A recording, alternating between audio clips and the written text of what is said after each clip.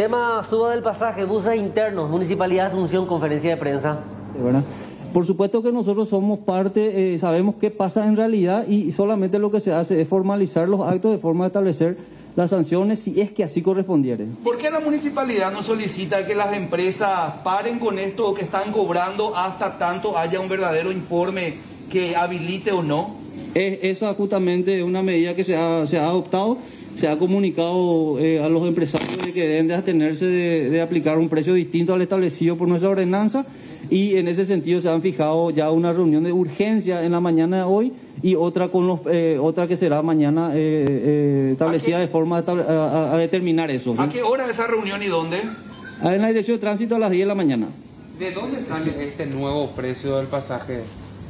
El precio del pasaje sale en base a lo que di- di- dicta el decreto del Poder Ejecutivo. Ahora, vuelvo a repetir, existen dos precios ahí, el precio de tarifa y el precio del pasaje propiamente. Obviamente los metropolitanos tienen un subsidio de mil guaraníes, por lo tanto, eh, y al no tener los, los de Asunción, asumo, asumo de que el cálculo que hacen los permisionarios, los empresarios asuncenos es que al no aplicarse el subsidio a ellos, entonces eh, directamente utilizan el precio de tarifa. Y el marco legal es claro cuando dice que se debe tener en cuenta el precio del pasaje al usuario y no el de la tarifa. El marco legal es bastante claro, más allá de que en este momento se pueda considerar injusto, ¿verdad? Para, los- para los empresarios, pero el marco legal es claro, el precio del pasaje. Director, ese comunicado que se pegó en algunos colectivos durante esta mañana, ¿quién exactamente fue el que publicó o el que pegó ahí? ¿De qué asociación estamos hablando? Y los permisionarios de Asunción están nucleados en una asociación. Asumo, asumo que la asociación habrá, habrá hecho su parte en eso, ¿verdad? Hablaba usted hace rato de algunas sanciones que van a tener que tomar ustedes como comuna capitalina. ¿Cuáles serían?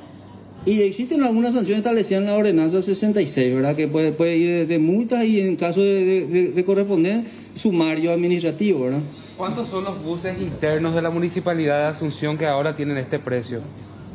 Y la verdad que no sabríamos nosotros porque eh, digamos que todos están cobrando en general. Nosotros, yo tengo un informe preliminar, no oficial, de las empresas que valían lo- los, los precios y eh, realmente bastante alto el, el- el- la- las validaciones que fueron realizadas en el transcurso del día, ¿verdad? ¿Qué puede hacer la municipalidad en caso de que estas empresas permisionarias decidan no volver a disminuir el precio o mantener en 2.300, que es el precio que estaba anteriormente? Bueno, la municipalidad debe ejercer a través de su, de, de lo que, la- normativamente hablando, debe ejercer su, su, su función regulatoria, ¿verdad?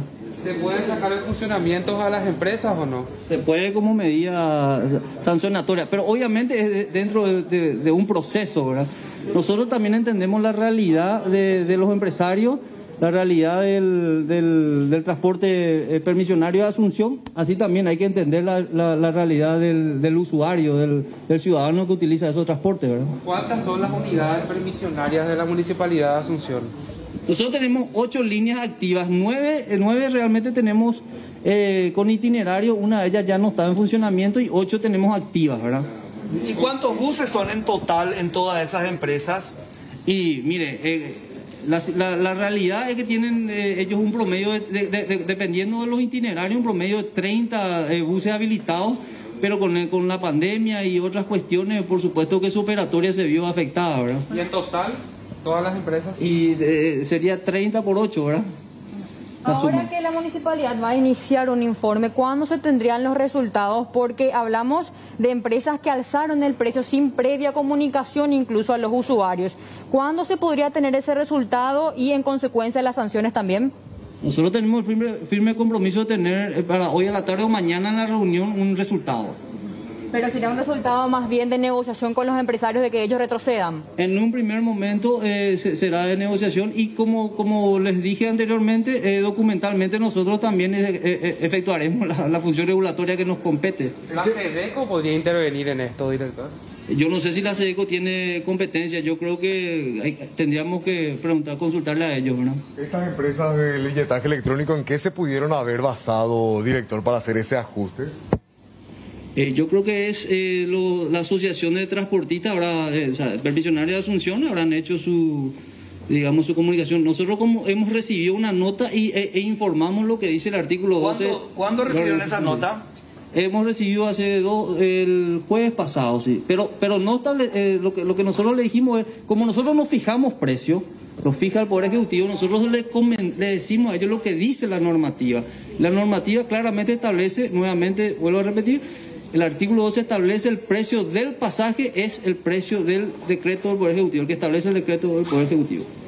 Las, las empresas pueden realizar este cambio de precios sin el aviso de la municipalidad de Asunción solamente por los transportistas. Nosotros como reguladores no podemos permitir que los precios se establezcan en forma unilateral. Pero en la práctica eso es lo que pasó. Y, y- y por eso es que hemos tomado la medida regulatoria de eh, pedir un informe y solicitar la convocación, la convocatoria de todos ellos a los efectos de determinar qué es lo que pasó, ¿verdad? Pero ¿Por qué director, si ahora, recibieron... si el jueves recibieron la nota, por qué ahora hacer esto donde ya el usuario fue afectado con esta suba del pasaje? ¿Por qué ahora recién la municipalidad está actuando, director? Vu- vu- Vuelvo a aclarar, eh, paso acá al director general. Sí, nosotros queremos ser un poco claros en esta cuestión, ¿verdad? Eh, nosotros recibimos una nota donde sabíamos que dentro del decreto del Poder Ejecutivo no se le incluía las líneas permisionarias de Asunción en este nuevo subsidio por el aumento de, de los precios del pasaje, ¿verdad? Entonces, en ese sentido, hemos recibido esa comunicación. No así, no hemos recibido, eso queremos aclarar, por parte de la Asociación de Permisionarios de Asunción, la comunicación de que se iba a alzar el precio del pasaje a partir de la fecha, ¿verdad? Eh, nosotros, así como ustedes y como la ciudadanía, también nos enteramos hoy y recibimos ya varias denuncias a través de las redes sociales oficiales habilitadas por el municipio, por la Dirección de Tránsito y Transporte, y es por eso de que hoy nosotros de manera eh, urgente hemos convocado al representante técnico y al representante legal de la asociación.